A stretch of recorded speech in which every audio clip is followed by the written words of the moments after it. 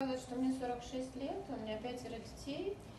Э, Вот, м, 42 года, я родила- да, в 42 года я родила последнюю свою дочку, но с большим удивлением, когда дочке исполнилось 2 года, я поняла, что у меня началось, как это называется там, ну не климакс еще, но вот предменопауза неожиданно.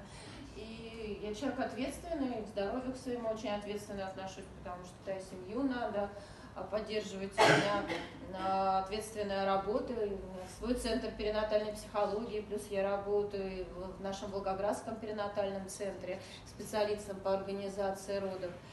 И, конечно, когда столкнулась вот с этой проблемой, что вот вот эти семь гномов, они пришли злобные, а, разные способы пыталась, э, вот, и в итоге, в итоге закончилось тем, что на гормонозаместительную терапию перешла.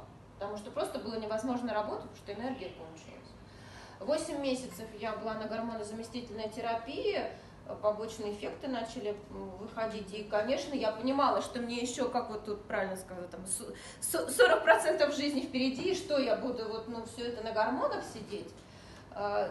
Искать альтернативные пути оздоровления. Спасибо моей подруге Лене Смирновой. Когда есть запрос, всегда приходит ответ, да, вот э, Вселенная послала такого ангела, вышла на компанию Fitline, с удовольствием сейчас употребляю.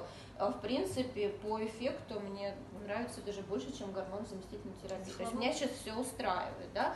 А, Устраивает таким образом, что я с удовольствием сейчас оздоравливаю свою семью, с благодарностью рассказываю своим друзьям, близким.